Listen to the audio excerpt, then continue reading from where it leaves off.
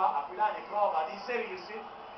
sull'assist di Pepe, sbatte sul eh, corpo del eh, direttore di gara di Roma che non si accorge, non si sposta